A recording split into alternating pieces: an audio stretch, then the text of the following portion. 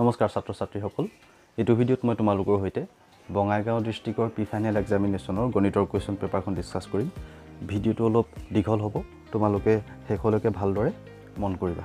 তো ইয়াত হোৱা প্ৰথম প্ৰশ্নটো চোৱাচোন তোমালোকে কি আছে? শুদ্ধ উত্তৰটো বাছি উলিয়াবলৈ দিছে তলৰ কোনটো একক স্থানত চাৰি থাকিব? ইয়াৰ শুদ্ধ উত্তৰটো হ'ব চি টু এইটিন স্কোৱাৰ কাৰণ এইটিন স্কোৱাৰ কৰিলে আমি কি পাম? তাৰ একক স্থানত আছে আঠ আমি আঠ আঠ গুণ কি হ'বগৈ গৈ? চৌষষ্ঠি হ'বগৈ যাৰ একক স্থানত কি থাকিব চাৰি থাকিব সেইখন অপশ্যন হ'ব। চি টু দ্বিতীয় প্ৰশ্নটো কি আছে? তলৰ কোনটো পূৰ্ণ ঘন। ইয়াৰ শুদ্ধ হ'ব C two three forty three যাৰ ঘনমূল কি হ'ব? সাত হ'ব। হ'ল তাৰমানে আমি সাত তিনিটা পূৰণ কৰিলে আমি কি পাম? থ্ৰী ফৰ্টি থ্ৰী পাম। তিনি নম্বৰ প্ৰশ্নটো কি আছে? Two by three to the power two মান হ'ব। ইয়াৰ অপশ্যনটো হ'ব C two three by two to the power minus two কাৰণ ইয়াৰ ৰিচিপ্ৰকেলটো আহি যাব বা প্ৰতিক্ৰমটো আহি যাব। তেতিয়া কি হ'ব গৈ? পাৱাৰটো মাইনাছত গুচি যাব। চাৰি নম্বৰ প্ৰশ্নটো কি আছে? ইউক্লিডৰ বিভাজন প্ৰমেয়িকা মতে দুটা ধনাত্মক সংখ্যা এ আৰু বি দিয়া থাকিলে এনে অদ্বিতীয় পি অখণ্ড কিউ আৰু আৰ থাকিব যাতে। অপশ্যন হ'ব C two a equal b q plus r য'ত আৰটো সদায় পিতকৈ সৰু কিন্তু শূন্যৰ সমান বা শূন্যতকৈ ডাঙৰ হ'ব। পাঁচ নম্বৰ প্ৰশ্নটো কি আছে? তলৰ কোনটো সংখ্যা অপৰিমেয়? সেইটো হ'ব অপশ্যন বি টু পাইটো হ'ব এটা অপৰিমেয় সংখ্যা। বাকীকেইটা পৰিমেয় সংখ্যাই হ'ব। ছয় নম্বৰ প্ৰশ্ন কি আছে যদি ৱাই ইকুৱেল এফ এক্স বহুপদ ৰাশিটোৰ লেখডালে এক্স অক্ষক তিনিটা বিন্দুত ছেট কৰে এক্স অক্ষক হ'ব লাগিছিলে ইংলিছ মিডিয়ামৰখিনি চাই ল'বা এক্স এক্সিছ বুলি দিয়া আছে এক্স অক্ষক যদি তিনিটা বিন্দুত ছেট কৰে তেন্তে এফ এক্সৰ শূন্য সংখ্যা হ'ব তিনিটা। যদি দুটা বিন্দুত ছেট কৰে ছেট কৰে দুটা হ'ব। এক্স অক্ষক যেটা বিন্দুত ছেট কৰে সেইটাই শূন্য সংখ্যা হ'ব। সাত নম্বৰ প্ৰশ্ন কি আছে? তলৰ কোনটো বহুপদ। ইয়াৰ অপশ্যনটো হ'ব D two x plus root five বাকীকেইটা বহুপদ নহয় কাৰণ প্ৰত্যেকটো চলকৰ প্ৰত্যেকটোতে চলকৰ সূচকবিলাক ধনাত্মক অখণ্ড সংখ্যা নহয়। কাৰণ ফাৰ্ষ্টটোতে চোৱা এক্স ৰুট অভাৰ এক্স আছে। তাক যদি আমি ৰুট অভাৰ চাইনটো যদি আঁতৰাই দিওঁ তাৰ যোনটো পাৱাৰত কি যাব x to the power one by two হ'বগৈ। যিটো এটা ওৱান বাই টুটো কি হয় এটা অখণ্ড সংখ্যা নহয়। সেইটো কাৰণে ইয়াৰ অপশ্যনটো হ'ব D two x plus root five বহুপদ হ'বলৈ হ'লে চলকৰ সূচকবিলাক প্ৰত্যেকটো চলকৰ সূচকবিলাক অবিয়োগাত্মক অখণ্ড সংখ্যা হ'ব লাগিব চলকবিলাকৰ। আঠ নম্বৰ প্ৰশ্ন কি আছে?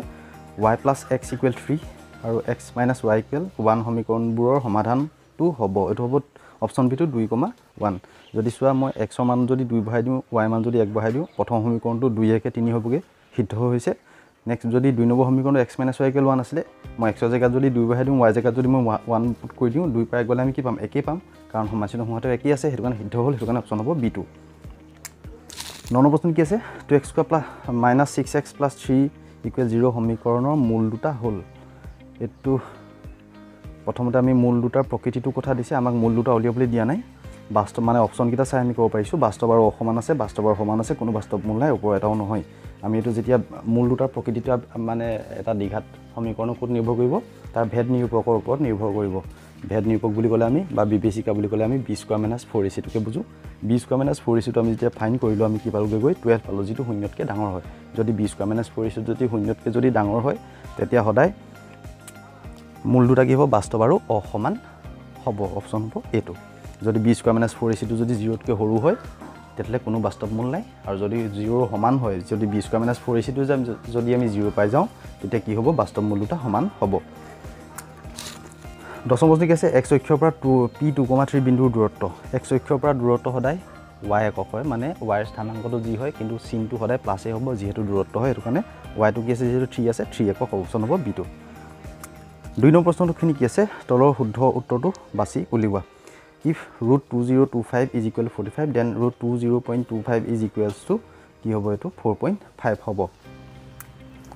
অপশ্যন হ'ব বি টু দুই নম্বৰ প্ৰশ্ন কি আছে? Five x minus three y equal one আৰু minus ten x plus six y equal twenty two সমীকৰণবোৰে বুজোৱা ৰেখা দুডাল হ'ব সমান্তৰাল ৰেখা কেলৈ হ'ব? কাৰণ চোৱা five x minus three y equal one আছে ইটো আছে minus ten x plus six y equal twenty two আছে। আমি এ ওৱান বাই টু কৰিম কি পামগৈ গৈ ফাইভ বাই মাইনাছ টেন কি হ'ব? Minus one by two b one by b two কৰিম আমি কি পাম? মাইনাছ থ্ৰী বাই ছিক্স তাতো পাম আমি মাইনাছ ওৱান বাই টু কটাৰ কৰিলে কিন্তু চি ওৱান বাই চি টুটো কি হ'ব? ওৱান বাই টুৱেণ্টি টু যিটো আমি কটাৰ কৰিব নোৱাৰিম। সেইটো কাৰণে যিহেতু A one by two equal B one by B two does not equal C one by C two হ'লগৈ সেইটো কাৰণে ৰেখাকেইডাল সমান্তৰাল হ'ব আৰু সমীকৰণকেইটা যদি দিয়ে তেতিয়া এইকেইটা সমীকৰণ কি হ'ব? অসংগত হ'ব। তিনি নম্বৰ প্ৰশ্নটো কি আছে? If a pair of linear equation is consistent then it the lines will be যদি এযোৰ ৰৈখিক সমীকৰণ সংগত হয় তেন্তে ৰেখা দুডাল কি হ'ব? কটাকটি কৰে বা মিলি যাব। কি হ'ব? ইণ্টাৰচেক্টিং লাইন অৰ কোইনচিডেণ্ট লাইন হ'ব। সংগত হ'লে কটাকটিও কৰিব পাৰে নহ'লে মিলিও যাব পাৰে। চাৰি নম্বৰ প্ৰশ্নটো কি আছে? তলৰ কোনটো দ্বিঘাত সমীকৰণ নহয়? ইয়াৰ অপশ্যন হ'ব বিটো কাৰণ বিটোত চোৱা কি আছে? লেফ্ট হেণ্ড চাইডে এক্স স্কুৱাৰ এটা ওলাব আমি যেতিয়া ছল্ভ কৰিম। ঠিক তেনেকৈ ৰাইট হেণ্ড চাইডেও এটা এক্স স্কুৱাৰ ওলাব আমি যেতিয়া ছল্ভ কৰিম তেতিয়া এক্স স্কুৱাৰ এক্স স্কুৱাৰ কি হ'ব? কেঞ্চেল গুচি যাব তেতিয়া কি হয়? যদি ঘাট যদি দুই থকা এটা পদেই নাথাকে তেতিয়াহ'লে দ্বিঘাত সমীকৰণ নহ'ব। সেইটো কাৰণে অপশ্যন হ'ব বিটো পাঁচ নম্বৰ প্ৰশ্নটো কি আছে? যদি X minus two whole square plus one equal two X minus three বাস্তৱৰ ভিন্ন মান থাকে তেতিয়া। এইটো আৰু আমাক এনেই অকণমান কনফিউজন ক্ৰিয়েট কৰিবলৈ দিছে। বাস্তৱৰ যদি ভিন্ন মান থাকে সদায় B square minus four is greater than zero হ'ব অপশ্যন হ'ব বিটো ছয় নম্বৰ প্ৰশ্ন কি আছে? যদি ত্ৰিভুজ এ বি চি সৰ্বসম ত্ৰিভুজ ডি ই এফ কোন equal forty seven E equal eighty three তেন্তে চিটো কিমান ডিগ্ৰী হ'ব? যদি দুইটা ত্ৰিভুজ যদি সৰ্বসম হয় তেতিয়াহ'লে অনুৰূপ কোনবিলাক সমান হ'ব? এ আৰু ইটো ইটোৱে বিটোৱে সমান হ'ব। তেতিয়াহ'লে এটো যদি ফৰ্টি ছেভেন বিটো যদি এইটি থ্ৰী হয় দুইটা কৰিলে আমি ওৱান থাৰ্টি ডিগ্ৰী পালোঁগৈ গৈ। তেতিয়াহ'লে চিটো কিমান ডিগ্ৰী হ'ব? ফিফটি ডিগ্ৰী হ'ব লাগিব তেতিয়াহে আমি ওৱান থাৰ্টিৰ লগত ফিফটি যোগ কৰিলে আমি কি পামগৈ গৈ? এশ আশী ডিগ্ৰী পামগৈ গৈ। ত্ৰিভুজৰ তিনিটা কোণৰ সমষ্টি। সাতৰ মচি আছে? এটা বৰ্গ আৰু ৰম্বাছ সদায়। অপশ্যন হ'ব ডিটো সদিশো নহয় আৰু সৰ্বসমূহ নহয়। আঠ নম্বৰ প্ৰশ্ন কি আছে? One plus tan square A divided by one plus cot square মই এইটো ছল্ভ কৰি দিছোঁ তোমালোকক। চাই লোৱা। ওৱান প্লাছ টেন স্কোৱাৰ জেগাত আমি কি লিখিলোঁ? Sec square one plus cot square জেগাত লিখিলোঁ। আমি কচেক স্কোৱাৰ ছেক স্কোৱাৰ জেগাত one by cos square cosec square জেগাত আমি কি লিখিম? ওৱান বাই চাইন স্কোৱাৰ যিহেতু হৰণ হৈ আছে ওপৰটো তলৰটোৱে। হৰণ হৰণ চিহ্নৰ ঠাইত মই ডাইৰেক্ট পূৰণ চিহ্ন দি দিলোঁ। তাৰ ৰিচিভ প্ৰকেল বা প্ৰতিক্ৰমটো পাতি দিলোঁ। চাইন স্কোৱাৰটো ওপৰত গুচি গ'লগৈ ওৱানটো তলত আহিলে। চাইন স্কোৱাৰ বা কচ স্কোৱাৰে থাকিবগৈ। কি হ'বগৈ আনচাৰটো টেন স্কোৱাৰ এ। ন নম্বৰ প্ৰশ্নটো কি আছে? Sine two I equal two sine A is true when A sine মই এইটো ছাইডত কৈছোঁ sine two I equal two sine A দিয়া আছে। চাইন টু আই চি জেগাত আমি কি লিখিব পাৰিম? Two sign A cos A এতিয়া two sine A two sine A যোৱাৰ পিছত কচ ইকুৱেল কি থাকিবগৈ? তাত গৈ one থাকিবগৈ।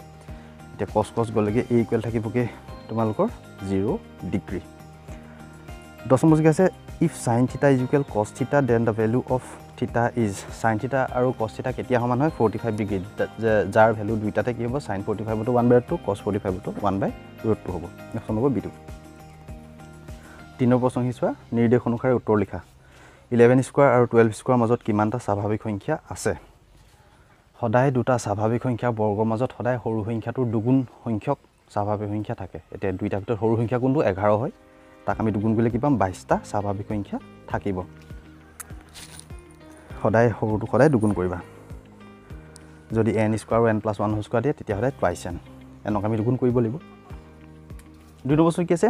P proportional Q and Q P equal six ten Q equal thirty now if P equal two then find the value of Q যদি P সমানুপাতিক Q হয় আৰু পি ইকুৱেল ছিক্স হ'লে কিউ টু থাৰ্টি হয় তেতিয়া P equal two হ'লে কিমান কিমান হ'ব? পি পি পি সমানুপাতিক যিহেতু কিউ হয় আৰু পি টু ছিক্স হ'লে কিউ টু কি হ'ব? থাৰ্টি হ'ব। ছয়ৰ লগত আমি কি কি পূৰণ কৰিলে ত্ৰিছ পাম?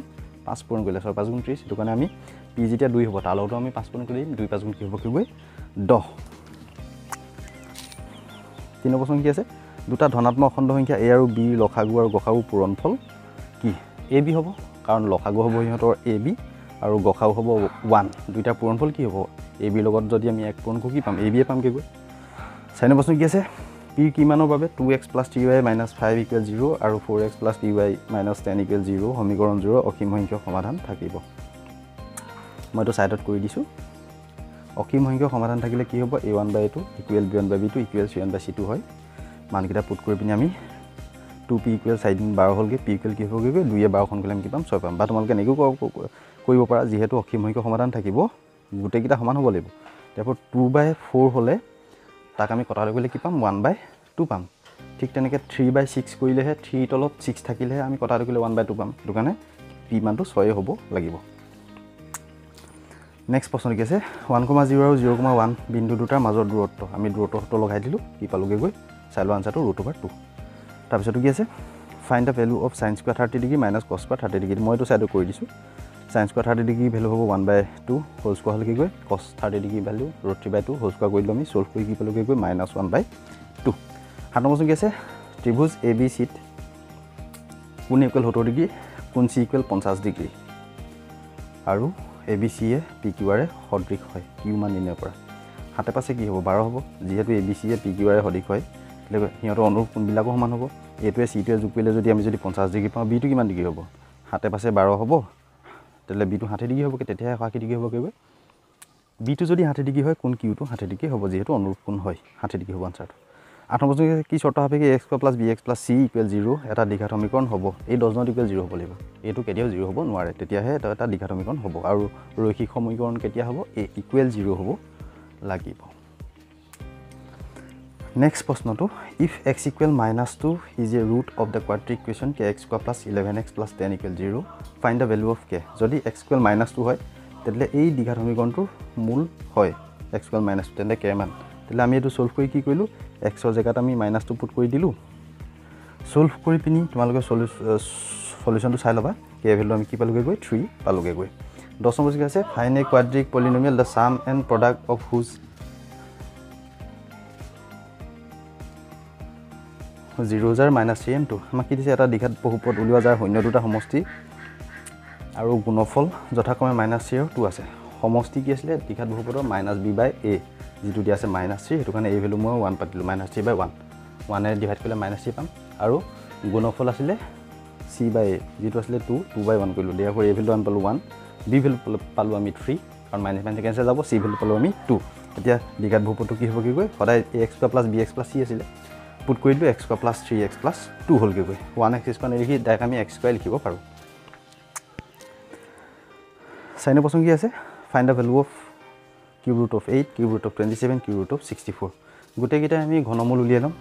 আঠৰ ঘনমূল হ'ব দুই সাতাইছৰ ঘনমূল হ'ব তিনি চৌষষ্ঠি ঘনমূল হ'ব চাৰি গোটেইকেইটা আমি যোগ কৰি দিম। কি পামগৈ গৈ?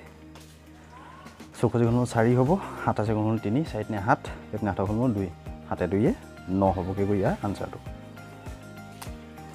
দুই নম্বৰ কি আছে?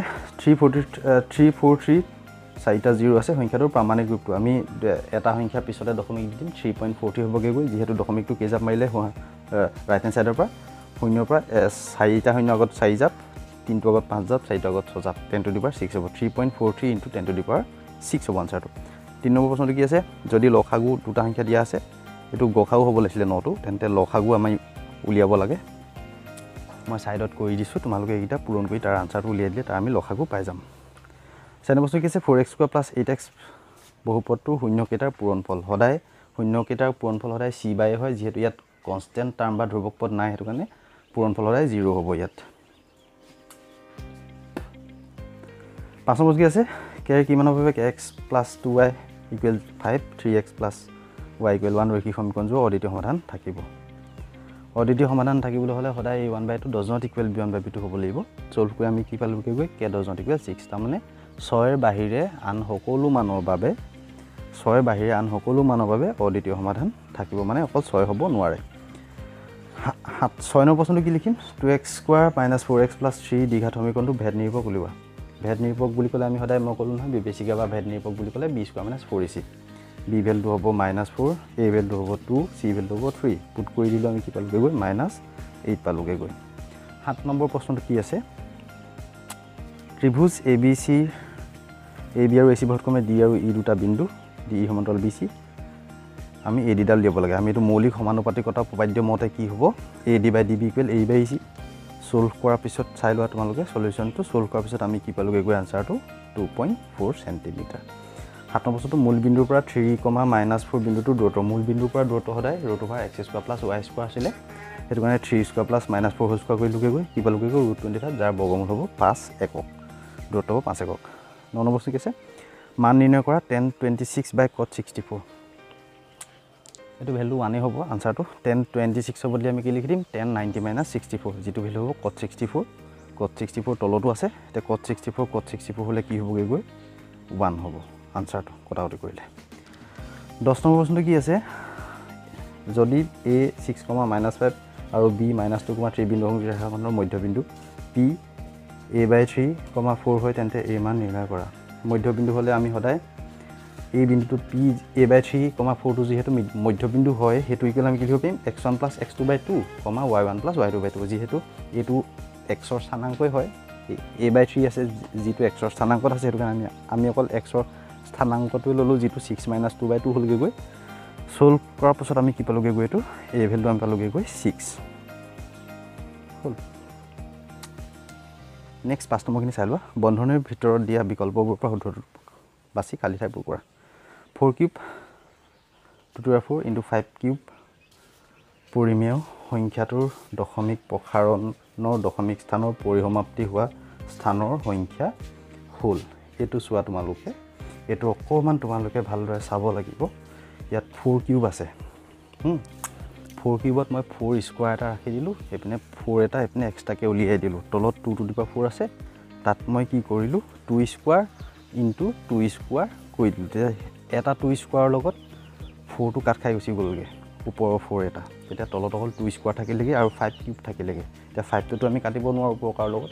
তাৰ ওপৰত যিহেতু কিউবেই আছে তেতিয়াহ'লে এইপিনেও আমি এটা টু ওপৰতো কিউব এটা কৰিবলৈ হ'লে দুই এটা ৰাখি দিম। টেন কিউব হ'বগৈ গৈ য'ত তিনিটা শূন্য থাকিব সেইটো কাৰণে তিনিটা স্থানৰ পিছত শেষ হ'ব। মাজৰটো হ'ব তাৰমানে। দুই নম্বৰ প্ৰশ্ন কি আছে?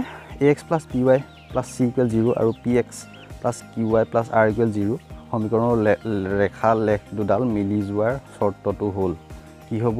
A by P equal B by Q equal C by R হ'ব। অপশ্যন এই প্ৰথমতে যোনটো আছে সেইটোৱে হ'ব তাৰ আনচাৰটো A by P equal B by Q equal C by R তিনি কি আছে? দুটাৰ সৰ্বসম ত্ৰিভুজ সদায় সঠিক। য'ত ত্ৰিভুজ দুটা অনুবাহু অনুপাত হ'ব ওৱান ইজ টু ওৱান হ'ব। সৰ্বসম হ'লে সিহঁতৰ বাহুবিলাকৰ সমান হ'ব। অনুপাতটো সদায় ওৱান ইজ টু ওৱানেই হ'ব তেতিয়া। নেক্সট আছে সকলোবোৰ বৰ্গই সদিশ হয়। পাঁচ নম্বৰ কি দু- দুটা ক্ৰমিক ধনাত্মক অখণ্ড সংখ্যাৰ গসাও দুটা ক্ৰমিক ধনাত্মক অখণ্ড সংখ্যাৰ গসাও কি হ'ব? ধৰি ল'লোঁ মই দুই আৰু তিনি বা এক আৰু দুই।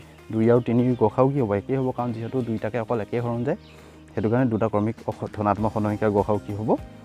এক হ'ব। মাজৰটো হ'ব তাৰমানে আনচাৰটো